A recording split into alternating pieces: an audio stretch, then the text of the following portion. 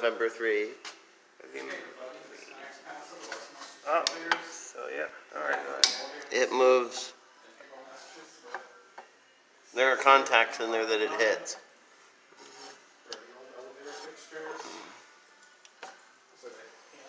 And right here, the uh, one that.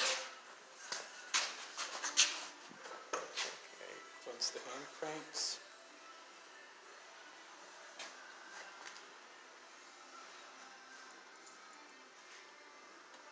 We're not supposed to touch them, but all right, I'll supervise. Just be gentle with them. Just be gentle. These are old.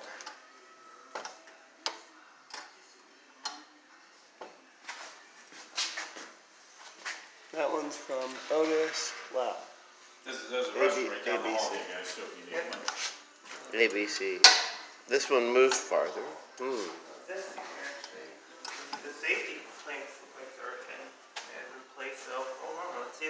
Safeties here.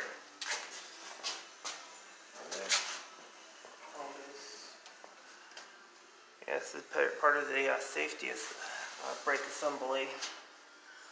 They're right here. Yes. I think Diesel Ducy rode an elevator that had this one where the bar comes out. Mm-hmm. And you, oh, that one, Yeah, okay, that's not moving. Think oh, they're old. that, that one's supposed to, the bar, Uh, the bar is supposed to move, tilt like the others I showed you.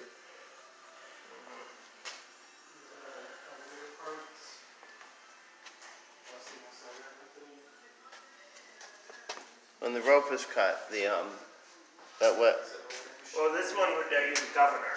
yeah. And when the uh, governor pulled up on the rope, it would pull the uh, brakes together. Oh, I see.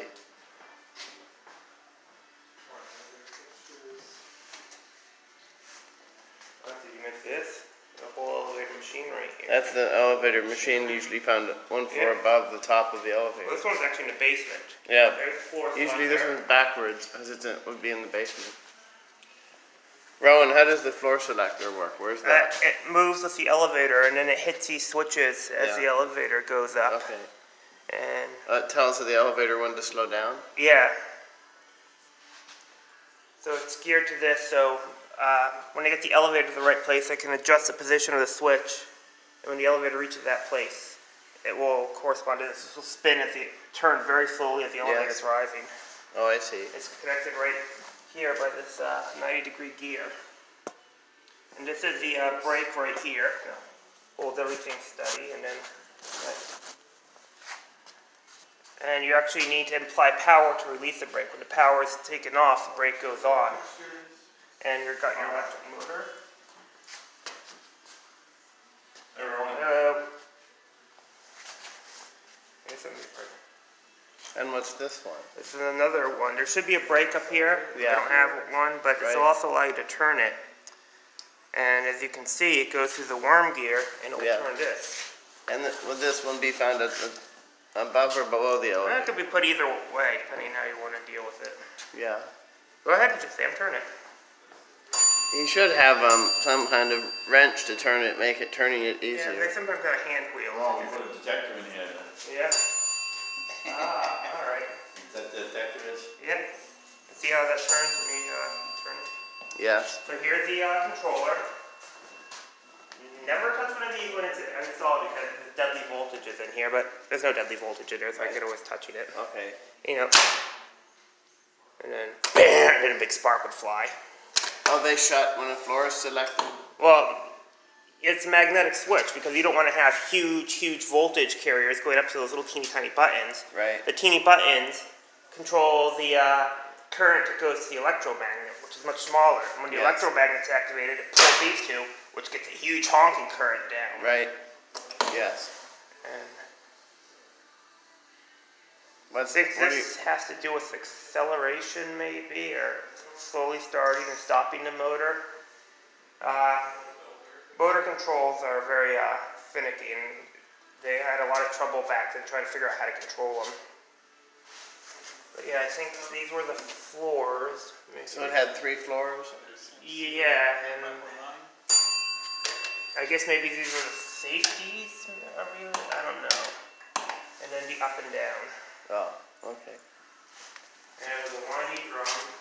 Like once, um, I believe someone they ran an elevator by pushing someone ran the elevator by pushing the um, buttons Yeah. in the machine room. Yeah, schematic. It's like so it winds up.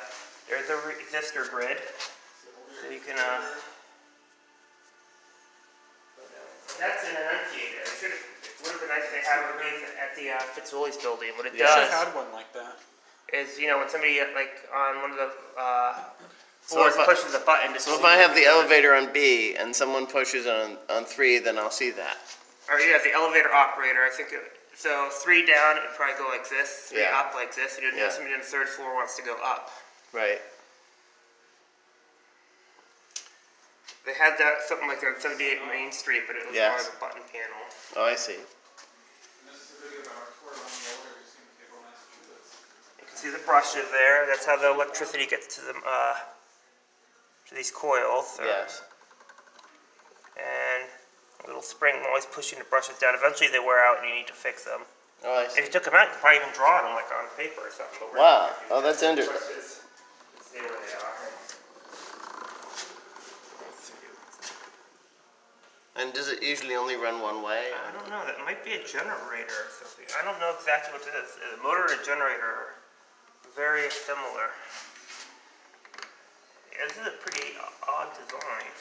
But you can also see the brushes in that motor too, for the more traditional motor. See the brushes there to. Yeah. And you can even see it's blackened because it's worn. Yes. Yeah. See, I, I don't know, they had some pictures of, this elevator's in some lady's house. Wow.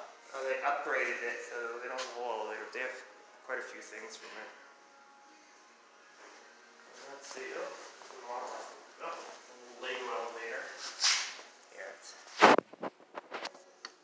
Oop, I believe someone built a model working elevator like that, but they had the push buttons for it.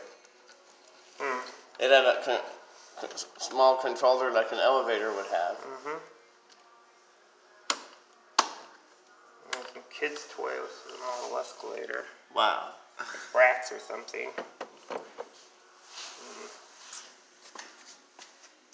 Ah, there you go. Here's a nice elevator diagram.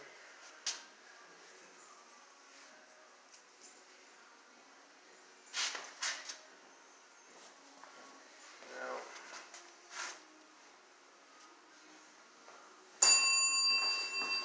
You notice any new stuff in here?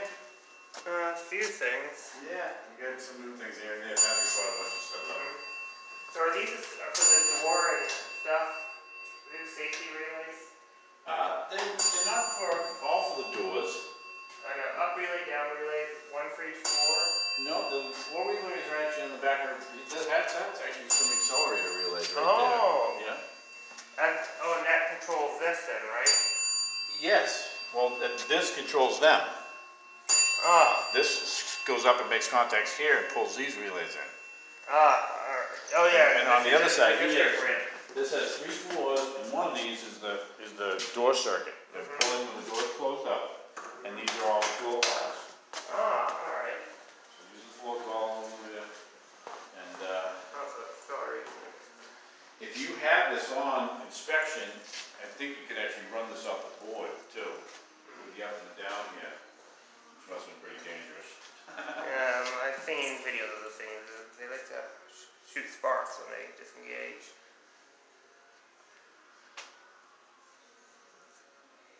Yeah, this came from Mary Baker Eddy's, uh, beautiful mansion. Wow. It's like a castle, actually. Mhm. It's, uh, that's a picture of her home right there. Wow. It's really a beautiful home. It's four stories high, built back in 19, 1908, when this was installed. She died in 1910, and so uh, it was never really used. So, Uh, so you see, Sam, when that thing turns, it hits that. The wire goes up here, Yes. and then it turns on this relay. Yes. Or actually, it turned it off, wouldn't it? Correct. Yeah, so the relay would be on, and when that thing hits like number three, it would shut off the relay. Yes. And everything would stop. That's actually the sling from the elevator right there from her home. Ah. Do they keep the original car? They had to take them out. They were, they were, uh, they were really never inspected and registered to the state. Hmm.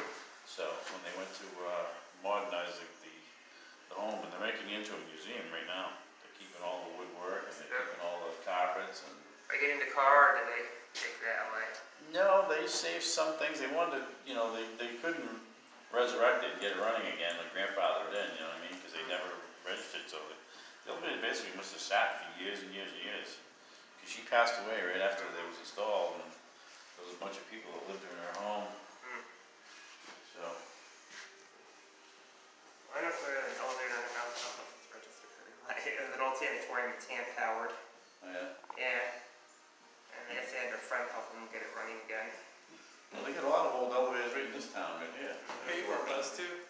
Even uh-huh. Northampton has them too. Downtown Northampton has old elevators Yeah, too. well, they got rid of one.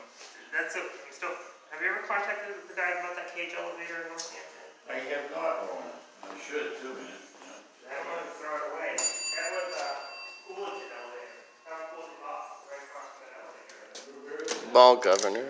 Yeah, and go on to check, they had it in there like, uh, where, where, shop. When the wheel turns too fa- elevator moves too fast. If the elevator moves faster, the balls get are pushed out by centrifugal force. Then, if it goes too fast, the the balls, the full length, the full tilt hits a switch, and it'll stop. What's this thing here? Oh, that's a small winch. Same same thing, but in a different way.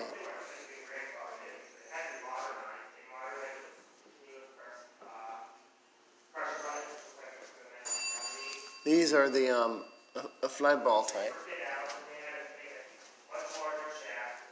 That's the fly ball type.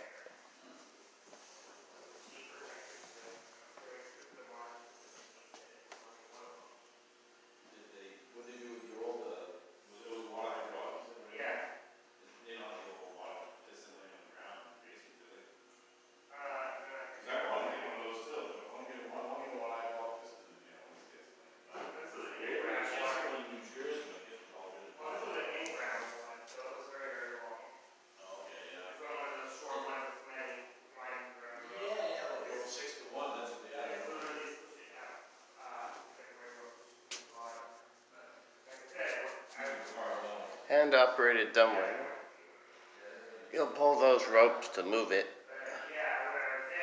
One way goes up, the other way goes down.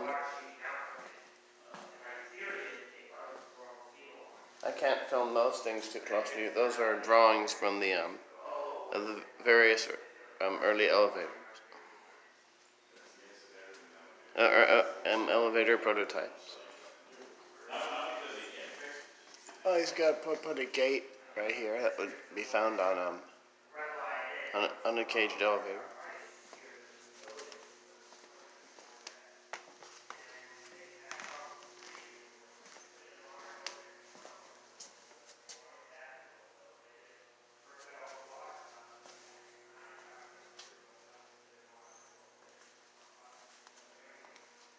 Elevator wrench and um, I'm not sure what that one is.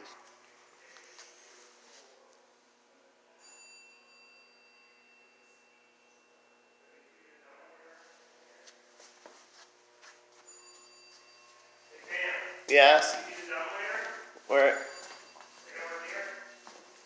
Yes. Various balls. This guy right here.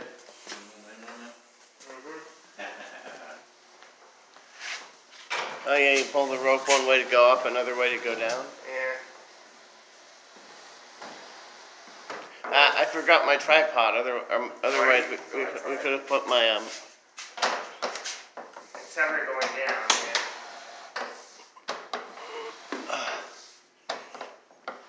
Sedgwick Dumbwaiter. This was in my living room for a long time. Well, not this setup, just the car. And most of the pulley mechanism. Know. he has an overbalance, so it's easier going up. What's the overbalance? It, it, the counter weight weighs more than the car. Okay. Oh, let's see. We could always fix that. Let's see there. It's really wedged in there. He's trying to fix the counterweight. Well, you can take out weights and add them. Okay. Ideally, the from what I've heard, somewhere I may, may have read that the counterweight should be half the weight of a car. Yeah, about thirty percent of the full load or something. We've got a car sling right, well actually this is basically the elevator, no sides or anything. And it's probably rope powered, or, Yeah. no, not rope powered, but uh, uh, tiller rope. Oh, okay. And it has the arch like the ones at, at the, uh, in Shelburne Falls to open and close the trap doors above and below it. Yeah, sidewalk elevators work this way. Yeah. Uh, and there's some warning chains. If you feel these coming down, you better move your head. I think we, ah, here we go. So they'd use these for the pull the rope ones, Yeah. and they're beads in them. I think you maybe have seen So the rope goes through. Yeah, and if you want to stop at four, Yeah. and then when the bead comes, it will catch a bead and then pull it and shut off the elevator. Okay. So the bead acts like a brake, sort of. Well, you, you, when you move the uh, rope, you turn Yeah. a switch up top. Yes. And you always uh, pull it the opposite direction you want to go because they use the uh, movement of the elevator to shut it off. Right. When it gets to the very top, it's a really big bead. The elevator hits it, pulls the rope, and then it pulls the uh, switch to off. Right. But if there's multiple floors, you know, when you're getting near the floor, you just go like this. and It'll catch one of the smaller beads, and then it'll Yes. pull the rope and stop. Oh, I see. There's multiple ones here, and then you can see different.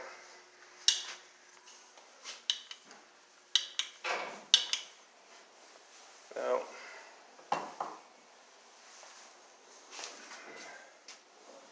Think the uh, little button panels here. You can't push it because it's just resting there. Right.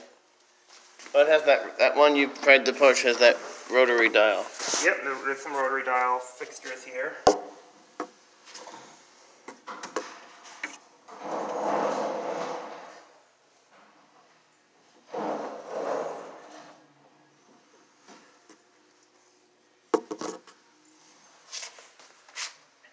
Ah, there we are. And you can also see the safety here. Safety And it looks like almost like an Otis original spring up there. Original from Otis. Well, the original from Otis would have uh, uh, pieces of metal uh, coming out and hitting uh, sawtooth. This has the more modern grippers. Oh, I see. I guess this was the uh,